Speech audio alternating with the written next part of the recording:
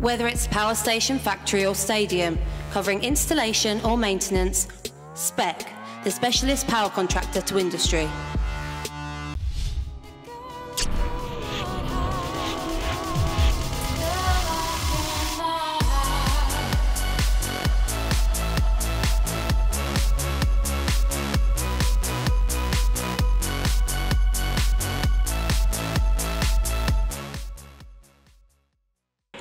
Welcome to Rugby AM. After a fantastic show down at Leigh last week, we go over today to Siddle versus Milford as we pick up the magic of the Challenge Cup. But first, we're here at a very, very special lunch, and there's no one better to start the show than simply the number one, the greatest, the top point scorer in rugby league history. Nobody can ever take that away from me, so I don't think it's ever, ever going to be broken. Well, people are saying that, but you know, when I broke the record, the Jim Sullivan record, Yeah. people said that Jim's record wouldn't be beaten. But obviously, I beat it, and who's who's the next one to take me over?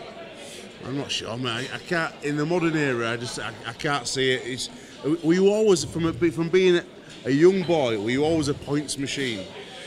Well, I always did well at, at school, you know. Uh, my two brothers, my father played professional, my two brothers did, and, and I got a lot of, help, lot of help from them. They showed me how to tackle, how to kick, how to pass, you know, do this, do that, and I followed them, really. Neil, you you're a big part of the Wakefield history, and you're still today a big part of the Wakefield club and community. The club, I think it's it's not in a bad place with with Chris Chester and obviously the legend as well coming down. Yeah, I mean, we enjoy going down. There's about five or six of us who's regulars there, Yeah. but you know, it's been going for, on now for about four to five years. Where are we going to play? Are we going to stop at Belle Vue? Are we going to Dewsbury? Are we going to Featherstone? Uh, they're not coming up with any answers as What's yet. your, what's your thoughts? I would still stay at Belle Vue. Yeah. There's a lot of work to do at the stadium, I Yeah. must admit. But uh, moving away from uh, Wakefield area for the supporters isn't a good thing. Looking around the room today, it is it's it's just steeped in history.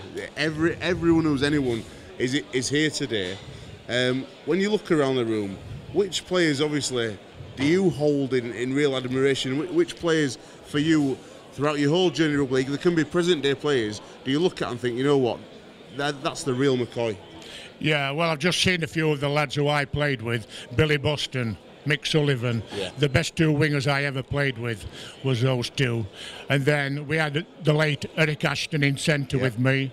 You got um, Alec Murphy who's here today. You know, all great players. And the pack was good as well. If you got, if, if the pack got on top of their pack, then you're you're always in for a win.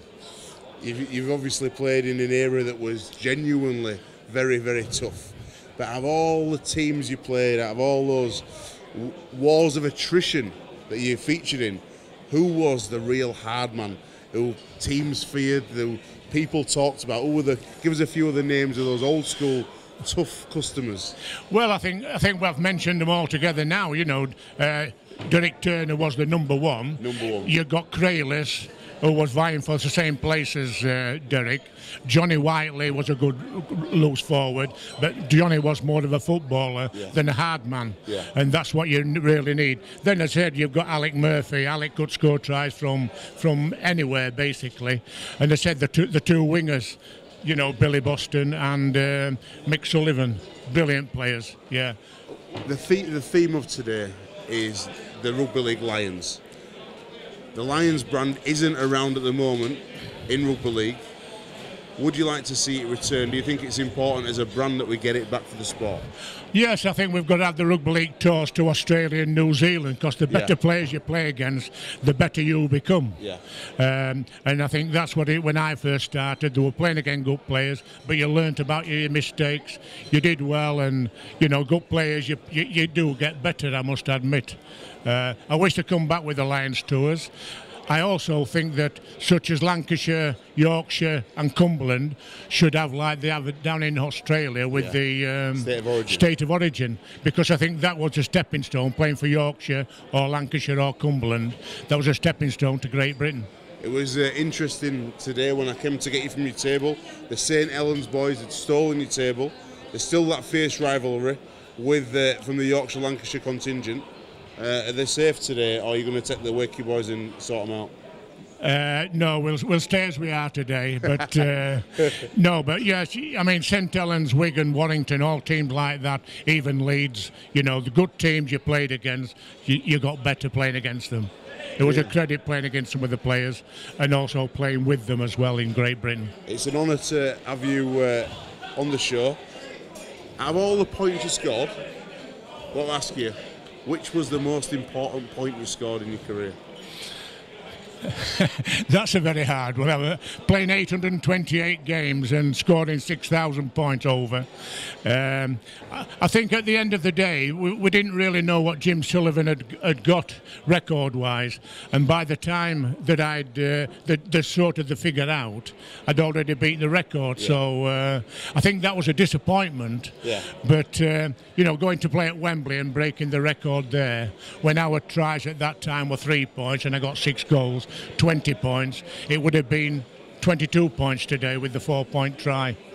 But uh, yeah, getting the land, getting the Lance Todd at Trinity at uh, Wembley, playing against Huddersfield and drop kicking three goals, that stands out well with my in my career.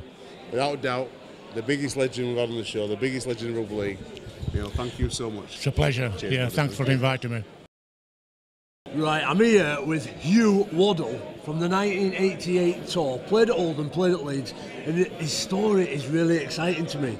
Um, because I don't know if you remember, I, like I do, 1990 World Cup, Italia 90, um, our chairman of Rugby League, Brian Barwick, brought in the Nessun Dorma song for that particular competition and it was before I got into rugby league, so it was a massive tournament for me. There was a player who got in the England squad called Steve Bull, and what was special about him was he got in the squad from the Championship, playing for Wolves at the time.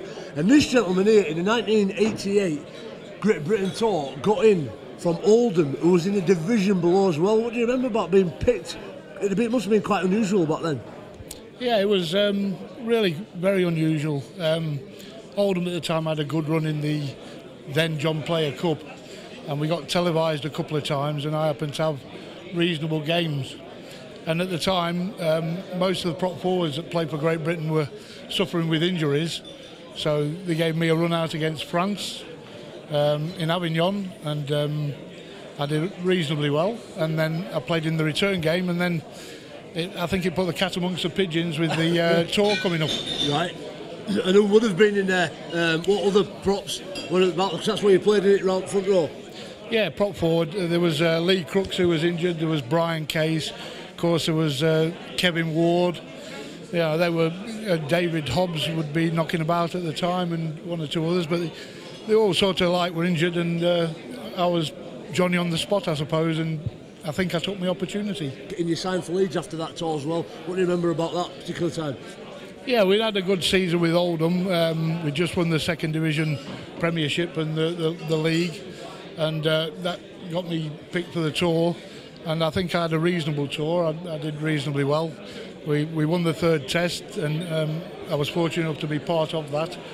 And um, I think Malcolm thought I was uh, worthwhile taking to Leeds and giving a go in the, with one of the big clubs in the game. So that was that. I'm a big fan, right, of Sherlock Holmes, and Sherlock Holmes' arch enemy is a guy called Moriarty. And you've got a little bit of a famous story playing for Leeds, I think, over at Widnes, and Moriarty's come flying out of the line, giving you taking the biggest liberty you can imagine, an elbow square in the jaw, obviously broke your jaw, and you famously, I think, if I'm right, just got up and walked off and thought, I've had enough. What, what do you remember about that day? Yeah, I remember it well. Um, obviously, I spent a few weeks out after that. Um, but it's really a lad called Colin Maskill who should take the blame for that. Right. Um, Maskey hit Moriarty in the tackle beforehand, um, a bit up upstairs, as you would say, and I, as usual, tackled round the legs. And obviously, Moriarty's taken a look and seen me lying round his legs and thought I'd taken the liberty and given him a good smack. And uh, obviously, the rest history. He came at me with a flying elbow and um, caused me a broken jaw probably the best part of my career probably cost in the end, but right. yeah, well, from there it sort of like deteriorated and went a little bit down, but you know that's what happened with me with uh, Moriarty and the broken jaw.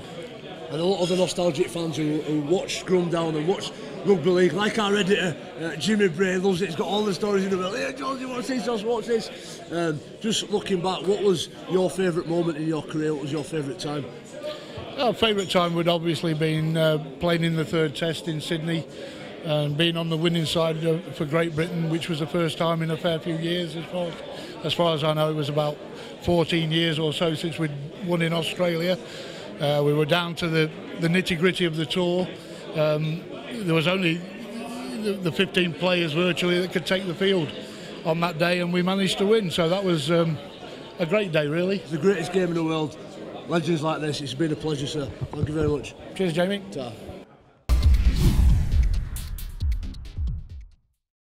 Whether it's power station, factory or stadium, covering installation or maintenance, SPEC, the specialist power contractor to industry. Whether it's power station, factory or stadium, covering installation or maintenance, SPEC, the specialist power contractor to industry.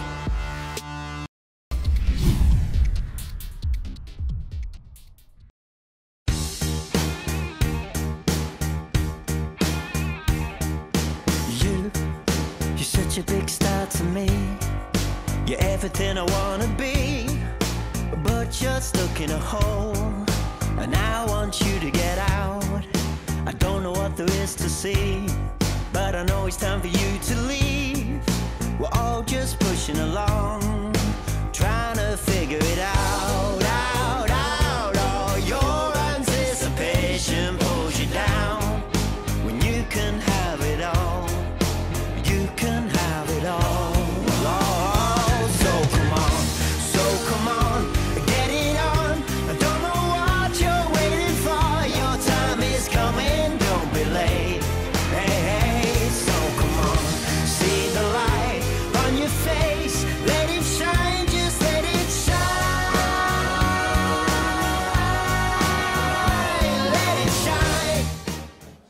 so excited. I'm here with Cass legend John Joyner, who played over 600 games over a period of 20 years. Now, John, I've, I've been looking back at history books with Alex Simmons, and it's not a target that I'm set out to achieve, but there's only John Holmes who played 20 years at Leeds, and I'm going into about my 19th season. I wanted to ask you, sir, how on earth did you manage to get through 20 years in such a tough game at a time when you probably played twice a week?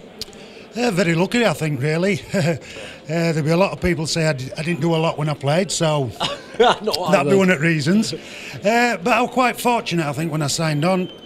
Uh, fitness wise, uh, I got into a culture at Castleford when I signed uh, through the players such as Gary Stevens, Steve Norton, who essentially knew that we had to do something above and beyond what we were doing at the club Yep. to have any chance of being the players that we wanted to be, really. Uh, so that set me in good stead. Then Malcolm Kenham coached us, which was another good point for me. He had a fitness was a big thing with him. So yeah, I think keeping myself fit, looking after myself, uh, played a big part in it. You mentioned a really key word there, culture, because I've come through with a culture of the generation, a core of players like Kevin Sinfield, Danny McGuire, Rob Burrow, uh, of, of Kevin particular, obviously, and Jamie Peacock retired, and you've got to try and preserve that culture and install that in the next generation. Do you remember going through that period yourself when you maybe played in two decades and had to keep that culture, keep reminding people what it was about to play for Cass? Uh, yeah, e- exactly. Yeah, uh, like Castleford were my my club. I, I grew up supporting them. Alan Hardisty, Keith Hepworth, were my heroes. Later Malcolm. Uh, so yeah, Cass were in me. Same, I suppose Leeds were in you. It's and the history of the club and the, the culture of the club, as you say, is really important and it cannot be lost. Yeah. And the more the more players you get to buy into that, I think more successful the club's going to be. And I've seen Graham Steadman in there. Daryl Powell's obviously a big character at Cass. And one of the things I've noticed and talked a lot about on Rugby M is for the last two or three years he's started to bring those players back into the club, tell those stories. Some of the best rugby league stories I've ever heard have come out of Castleford. And it's really made a difference to that team up pitch, hasn't it? It has, yeah. Like you say, Dall's really big into it. Has ex-players going down and presenting the shirts to the players. Uh, he's big on, like I say, wanting to get the players into the culture, knowing the history of the uh, the club, knowing what it's won, what the players have come through, and so on. When I was a kid and coming through, Kev Sinfield was a bit of a rock for me. He was, a, he was the mentor, the person that I looked up to, and he seemed to always have things together. Was there any particular characters during your journey at Cass who you had that real synergy with, a real friendship, who you might want to share with us today? Uh, I think such as Gary Stevens, I think, uh, and Malcolm, obviously. Uh, like I say, Gary was at the club when I first went. Got good pals with him. He would have always been a good trainer. So as I said earlier, he got me into the habit of training, what the, what it meant, what, to not only to yourself but to the club to give your best and such. And then, like I say, Malcolm became really good friends with Malcolm, although he was the coach. But his enthusiasm, and his energy, just rubs off on you. Certainly, and I, I'm just thinking I'm at about 370 games. I'll never get to 600. There's no way. But just tell us, back in your day, they must have been playing twice a week. How did you get through it physically? Did you have the bits of science, the ice baths, and, and, and did you do anything that just kept you getting out there on the pitch? Uh, probably just having a couple of beers after the game at that time. what were your favourite tipple? What did you what did you like to have? Uh, early on, Tetley Bitter, I suppose. But no, we trained hard. Uh, like you will know with Malcolm, we trained hard. Uh, trained hard and played hard, I suppose. But no, I think it's just enthusiasm, and I think a lot of it's in the mind. I think, I think today, not just in rugby league, but I think in in other sports, especially soccer, they put too much negative thoughts into the mind that they are tired. You can't do this because your body won't let you, and I don't, don't think it's any good. Completely agree. In fact, this is a bit wild, and I probably get a load of people jumping up back of me. But I'm just seeing a scientific study that pe- that people who die of stress-related illnesses are only the people who believe that stress is bad for you. The people who think that stress is good gets you out of your comfort zone it makes them better. There's some real scientific proof out there. Now, really quickly, I just want to ask you about Castleford Tigers this year, 2017. There's been a few people banding about the possibility of people like Luke Gale, who's just gone like that, in my opinion, in the last couple of years, maybe being up there for a Man of Steel award this year. He's been outstanding. How do you think Cass are going to go this year? I think Cass will go very well. Uh, I think Della's done a tremendous job. Uh, like I say, he's, he's got some good players in.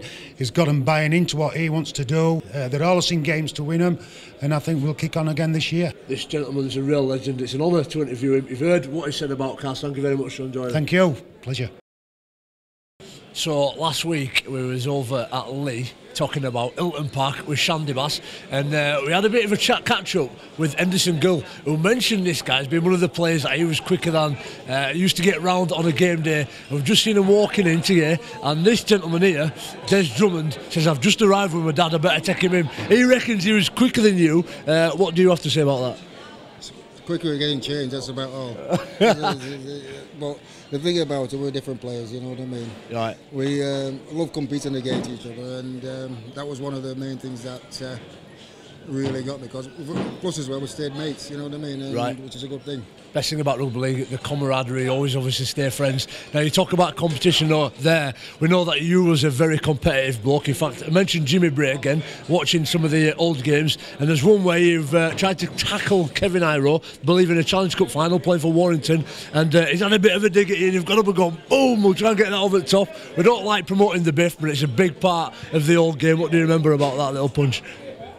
Um, well, I had a load of, I have to withstand a load of punches, like, but as far as I'm concerned, it was um, it was just a bit of misunderstanding really. He threw the ball at me and uh, I reacted. I, you know, I had to jump up, you know, about three feet to, to meet him. But um, it's just one of them things, like you know, the reaction at the end of the game and that. I was a bit frustrated with the way the game went and. Uh,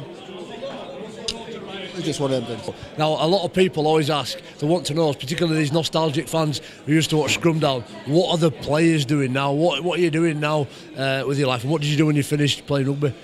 I went into teaching, I tried teaching, I went into the care, you're doing, doing all different works like that. At the end of the day, there's a lot, it takes a lot to replace yep.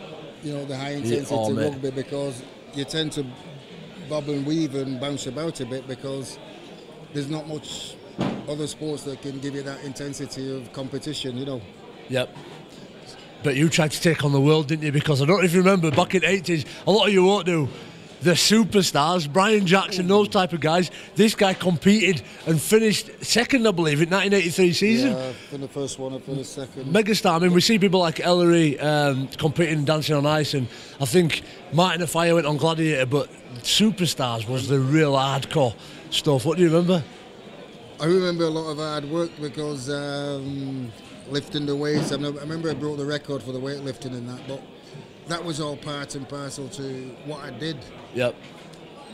I mean, to be honest with you, you know, to train for rugby, I used to go on the judo mat.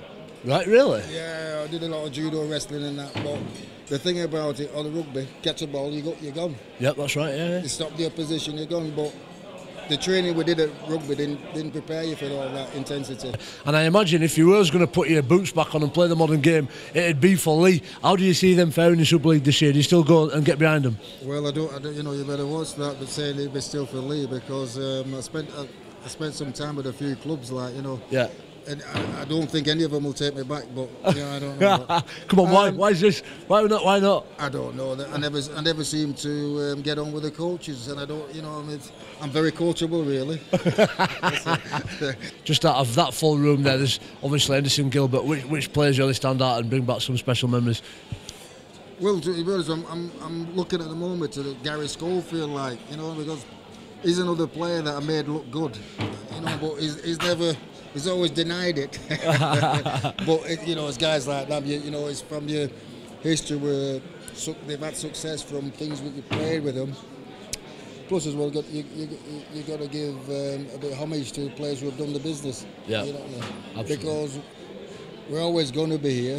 It's the, you know, it's not it's not about your potential these days. It's what it's what you, what you've done.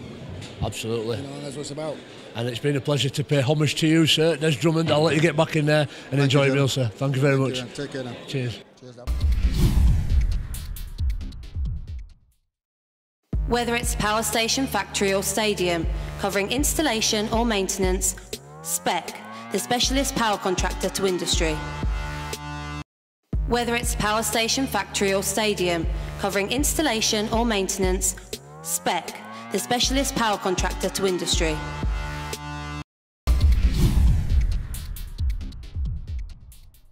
Welcome back to part three here on Rugby M. We've been over to the Lions Lunch and met some proper legends of the game, but this for me is where Rugby League is its strongest, and that is at the grassroots. We're here for the first round of the Challenge Cup. My team, Milford, my amateur team versus Siddle.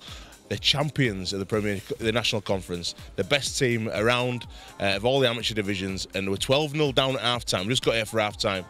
Could this be the greatest comeback in Rugby League history for the Milford? We'll have to see. Join us for some more post match after the highlights.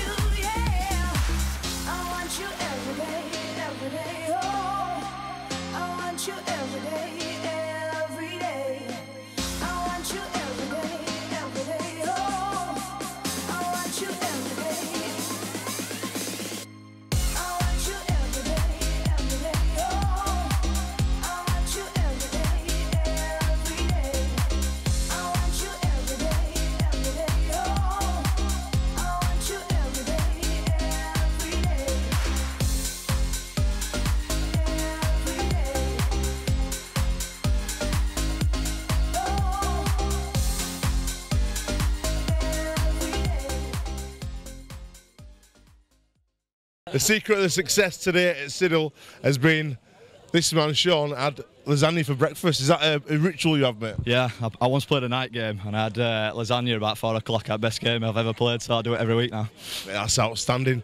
Mate, you've come back, Baron, to, to your amateur club after a great pro career. Yep. Sometimes do you think, what am I doing here? What am I doing? Maybe for the first five minutes today when you're getting put in puddles, but no, no, I enjoy it, mate. It's my old club, and uh, always want to come back and do a few seasons like so. No, it's uh, enjoy it still, buddy. But you played with Robbo, you played with some some great players. But do you value this environment more than some pro clubs? How does it how does it compare to you?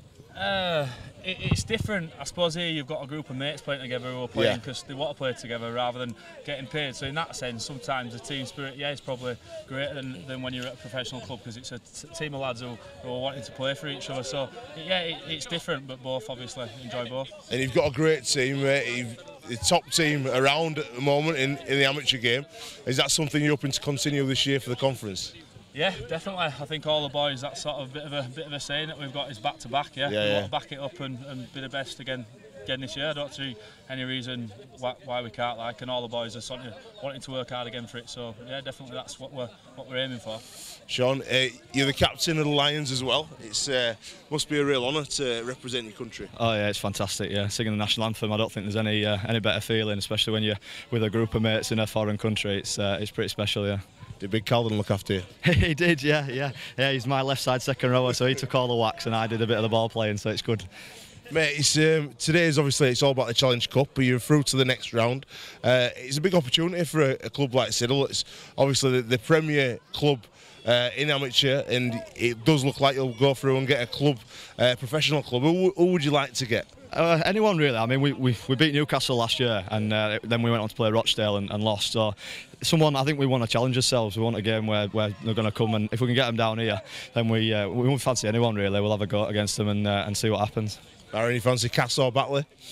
yeah, definitely like Sean says, it's a, it's good to test yourself against the professional Yeah. sides, isn't it? And it's a great day for the club as well. Do You know, we went over to Rochdale, took you know a good good number of fans, a few Yeah. hundred fans. I think we had probably well definitely had more fans than them. So Yeah, yeah. it's a great day for the club as well. Great support from all the all the sort of teams all the way through. Right, well, you play it really well. Congratulations, boys. Through to the next round at Cup. I'm a bit gutted because I'm a big Milford fan, but no worries. Good luck. I'm absolutely gutted because I really did believe we got here at half time from straight from Lions lunch, uh, listening to some tales of heroes of the Challenge Cup. People like Neil Fox been talking to all morning. Me and Jimmy come over here full of belief. 12 0 12 0 down at half time.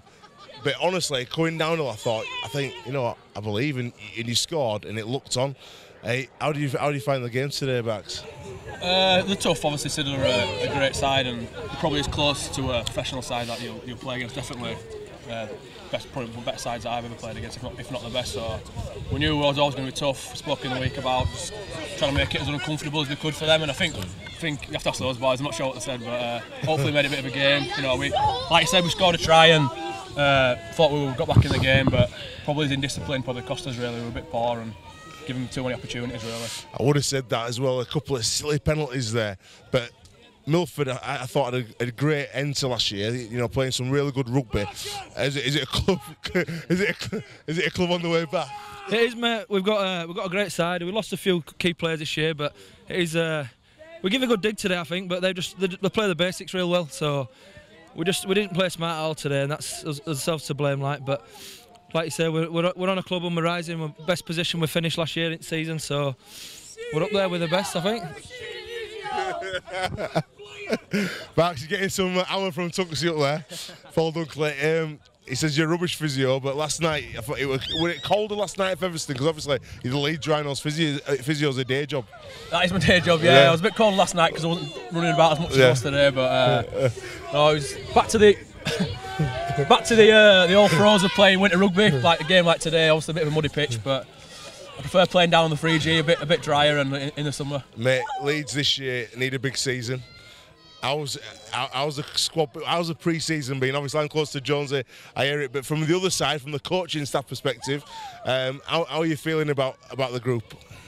Yeah, obviously last season was obviously a disappointing season, and the lads have lads have trained really well. Uh, we're happy from the from the backroom staff that the boys have trained hard and going to the season full of confidence. Yeah, mate, it's uh, it's going to be a, a, good long year. If you do you need any more players, are you going to advertise some players now for Milford, or are you happy with this, the squad you've got? If you want to come down and have a go, I know you're yeah, ex-Milford lad. Mate, I'm too old and too fat nowadays, but I'll uh, I'll have I'll have a dig there's one a, day. There's a slot in that uh, prop spot if you want it, mate. mate. I'll have a go. I'll play one game this year. One game. Come watch me.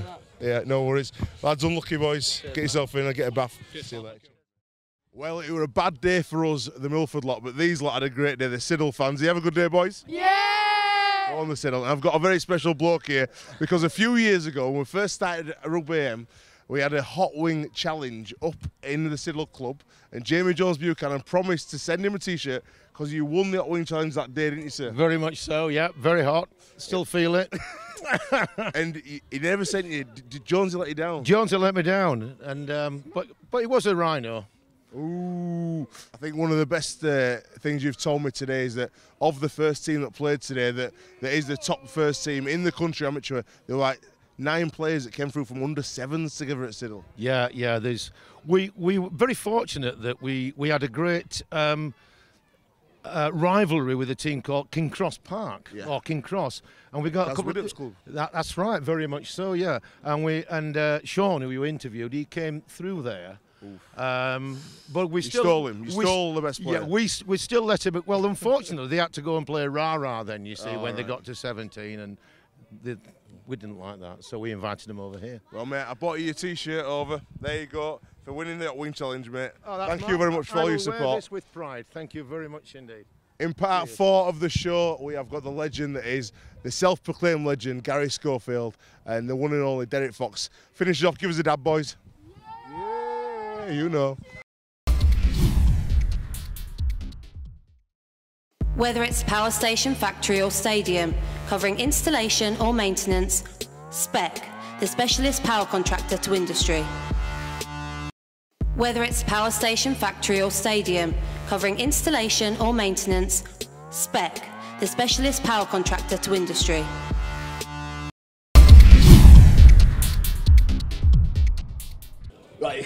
have a Lions lunch without the legend Gary Schofield. OBE, All the Famer, Golden Boot, won just about every individual accolade there is in the game. Unfortunately, I never won any trophies, Scully, but I did want to ask you about a particular game I watched recently while I was sitting bath. Absolutely loved it. And if you're a rugby league fan out there, you've got to go back on YouTube and see some of the games that this guy played in, some of the skills that they had back there. And I'm talking about the 1998 Ashes Test at Old Trafford. You draw him with about five minutes to go. Um, Mal Meninga comes up with an unbelievable try for Australia. But what do you remember about that game? Well, Jamie, to be honest with you, first of all, thanks for reminding me that I didn't, uh, I didn't win any trophies. And I get, I get reminded that very uh, often by Wigan fans, to be honest with you. But anyway, right, that's a, that's another. Uh, I guess that's another story for another thing. But you, you mentioned here the 1990 test at Old Trafford, and uh, there wasn't five minutes to go. To be honest with you, there was around about About 30 seconds, uh, wasn't thir- it? thir- 30 seconds, mate. Yeah, we'd uh, we'd levelled the game. I, I put Paul Dixon over uh, for a great try, and and uh, Lockers took that great interception. But but do you know what as well? Because um, Lockers was our goal kicker, and he says. I, I, I don't want to take this a bit too much pressure. So Paul Eastwood, you know, he took the kick and he missed it, which levelled up at ten apiece. But then, I tell you what, Jamie, right? And, and uh, there's not just myself who, who reminds Lee Jackson of, uh, of, of of what went what went on from there, and uh, because the fact is, we all know, Jacko, if you wanted to put a mortgage on anybody, not to take a dummy. I'm telling you, all the players would have said, right then, Lee Jackson is a person where you'd want him, where you know he's going to tackle somebody. And then Ricky Stuart shows his dummy, and who takes it? the person you would least ever think that it was going to be Lee Jackson. And, and, and now the rest is history. And uh, as we know, he went about 40, 50 yards, big mal supported, barging everybody away. I'll tell you what, in today's game, he wouldn't have got scored, would it? You know, with the video referees. no, but but, yeah. but um, it was absolutely heartbreaking. And as I say, because we uh, we would have uh, we would, would have retained the Ashes in 1990 for the first time since 1970, since the great side of the great Frankie Myler. And um, heartbreaking, but I tell you what, one thing for sure here, what we're here for today with the Great Britain Lions, this is what the game's all about. Absolutely. Without history, we haven't got nothing. And when I look at the players who are here today, and when you talk about the quality, and you just mentioned the words, you mentioned the word skill, commitment, size, mobility, I'll tell you what. it's in abundance here today at the uh, at the Cedar Court. It certainly is. I would suggest anybody get out there, look at some of them old games. It's phenomenal. And some of the skills, where the, the way that you played the games, the depth that you had, and some Mm. of the little drop-off plays, uh, we're missing a little bit of that. And I think it's really heart-wrenching because it's been 10 years since the last Great Britain game and I played in it. I played Mm. about 40 minutes in the last Great Britain game. Fortunately, and I'm not going to start mourning about it because it is what it is and there's reasons why, but it's a shame that we don't have that anymore. Oh, listen, listen, mate. Uh, for the decision to, to scrap Great Britain was absolutely pathetic, to be honest with you. Disrespectful to, to the to, to the great game, and uh, we all know who came up with that call, and we all know what, what's going on now. But uh, one thing for sure here, when you are at this luncheon, it's quite simple. It's Great Britain. The lads are reminiscing. The lads are talking about the tours. And when we talk about the tours, Jamie, right, and this is what we do all afternoon. We're here from 12 o'clock to around about half past six, seven. And there's lads here from Yorkshire, Lancashire, Cumbria. But when you look at the guests, when you look at the guests here now, they want to see the big boys. And let me just tell you who the big boys are. And when you mention, okay, you know, I'm part of the Hall of Fame, but let, let me just tell you this. When I talk about the big boys, when you talk about Fox, when you talk about Murphy, when you talk about Jones, and uh, when you talk about Boston, let me just tell you this: these are the big boys. And I'm getting goosebumps, Jamie, as I'm speaking to you. Honestly, I'm getting goosebumps when I'm speaking to you. When I talk about the heritage, and when I talk about the history, and when I see the likes of Murphy and Boston and Lewis and these guys, it makes me feel privileged to be a British Lion. Certainly is. And you've got a load of Lion shirts that are lined up there. You're getting them all to sign it, bit of memorabilia. Yeah. What are you going to be doing with those? Well, what's uh, what's uh, we, we're there? We, we, I'll tell you what as well. A fantastic sponsor and uh, a gentleman uh, called Yanni from Leeds, uh, YKBS, is his company. He sponsored the jersey for us, and these uh, the, the, these shirts and uh, what they are going to be. They will be auctioned off, and uh, it's going to go to Rugby League in the Leeds area. It will be for the Le- uh, not just the Leeds uh, Rugby League Foundation. It's going to go to the greatest game of all, which is rugby league, and that's what we're raising for. And do you know what, as well? When we talk about our greatest game, what I'm asking. When I'm asking all these great players who are here, there's no hesitation whatsoever of an an autograph because one thing for sure, rugby league people are proper people. Certainly, uh, credit to RLKS for getting this great event on. I love coming. It's one of my favourite parts of the year. Just lastly, um, we talked about Brett Kenny. Come over not so long ago. Went round, did a few tours up in Cumbria. They are mega stars, obviously back in Australia and over here as well. Now in the off season, sometimes you go over play in Australia. They come and you had that synergy because you played together. We don't get that so much anymore. But you've got that holistic rugby league world view, aren't you, back from back in your day? Oh, mate, listen, uh, and to say you, you you met Brett Kenny yourself, and what a great guy, but also too he's an, an absolute, you know sensational uh, and one of the best uh, that's ever been. But as a bloke and as a player, sensational. Same exactly. When you when you look at the, the days where we played against the Aussies, and to say in the Great Britain jersey with the Wally Lewises, with the Peter Sterlings, the Brett Kennys, the Gene Miles, the Mal Meningas, do, Jamie, do I need to go on? And I'm not making an excuse here to everybody, but. That's why we didn't win the Ashes. We got close. we got close, but that's why. But they just had a little bit more quality. But, but, one, one thing for sure, what this great game does, and as I mentioned, with the heritage and with the history, it's quite simple. You make friends for life, and that's what touring does. And let me just uh, say this as well: all the guys who are going to be speaking here today, we're going to be talking about as touring days, not just being in Sydney, Yeah. not being in Melbourne, not being in Brisbane. We're going to be talking about Rockhampton. We're going to be talking about Tamworth. We're going to be talking about Wagga Wagga. It might be sometimes. Uh, can you remember? Uh, you know, you might uh, kiss this young lady or this sort of thing, or having a few beers from there, Jamie. But but this is what touring's all about. I can remember when I played at Tamworth. I was frightened to death, Jamie Jones Buchanan. Do you know why? Because they were big farmers. Some of them had four stone of head. They wanted to knock hell out of an 18-year-old as a callers there. Pommies. I'm, I'm saying to these guys, hey, listen, I'm not a pommy. I'm an Englishman. We sent you over here 135 years ago, so don't be calling me that. But one thing for sure, one thing for sure, they're the great memories, and that's what we're talking about here at the British Lions luncheon. I have got eyes up back of my net now. Somebody's put five quid in Scully's back and he's on form. Can't wait to see him uh, for the rest of this afternoon. He's going to be loads of keywords out there. Get on YouTube, have a look. You will not be disappointed. One of my favourite days of the year is the Lions lunch, put on by RLKs, where we get to meet true legends of the game like this man, Deryck Fox. Deryck, thank you for coming on Rugby. It's a privilege to have you on. Now, I want to talk to you. We've got to start on the biggest game of your, of your life, and that's the World Cup final. Tell us a little bit about that team because you played virtually Lions football in the tour before as the captain of the midweek team. Tell us a bit about that. Yes, I was uh, pitted as the captain of the midweek team. Never get. Not, I, I got a chance to play Test football in New Zealand at the Yeah. back end of the tour, but the midweek team we are uh, playing out there, we never lost a game in 10 weeks. We uh, we played usually Tuesday nights against all the uh, the current or the NRL sides, which have merged. A lot of sides merged, but we actually uh, got a good camaraderie together. And then coming back into the UK, then obviously '92, I ended up being picked as uh, scrum half in the World Cup final, and it's uh, it was a dream what were it like when you got that call? Take us back to that moment. I think it's a fact when, when, when Malcolm actually phoned me and said, "Look, I'm looking to you to you to play uh, seven and Andy Gregor to play six. We're looking for a good kicking game really in the Yeah. at Wembley." So then the heart the heart picked up pumping quite a bit, and the, uh, then I thought, "I'm actually playing at Wembley." And you thought on the day you had him. It, during the game, you thought it was your day. One missed tackle. One missed tackle cost cost me a World Cup final winners medal, and and we were so near and yet so far. And it's the same uh, same thing every every time we play the Australians. They're always that one step in front of you, and and just that one step, one missed tackle, one arm grab, it just oh, devastating. But it hasn't changed to this day. It hasn't. Why is that? I think it's the fact is that the the, the, the moment I think we're still we're, we're trying to replicate how they play, and we're not a nation that plays that kind of structured rugby. We're a nation that's flamboyant. Yeah. We've had flam. If you listen to every player in uh, th- th- this afternoon, they all talk about the skill factor. Every front rower could offload the ball. Yeah, yeah. Every halfback was quick, apart from myself. But we're always behind. We, we're not behind them. I think we, we're there. We just need to learn. We play play the English way. I think we've got to change now. Yeah. Daryl Powell's mentioned it in the press locally that we've got we've got to play how we play because I think if we did that, I think we'd get more results. We're going to do that with an Aussie coach, though. Well, that's it. You see, with an Australian coach, he's going to be playing structured rugby, isn't he? And everybody, but the English coaches over here need to learn. Look, let's play some some decent, let's some very good rugby. Let's attack. We've got the defensive systems right now because we've, monitored their defensive systems, but we've got the players, the halfbacks, to actually create holes, get the forwards offloading balls, and let's just play second phase rugby. Who would be your pick for England coach? I think at the moment, Daryl. Yeah. Daryl Powell. Played with Daryl, played against him. Daryl was a tough player, very astute coach.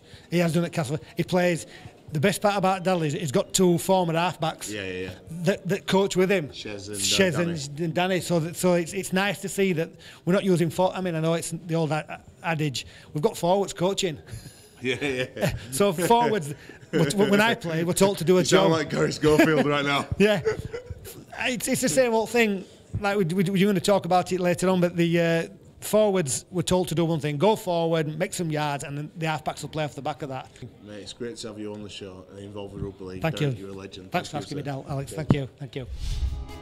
Thank you.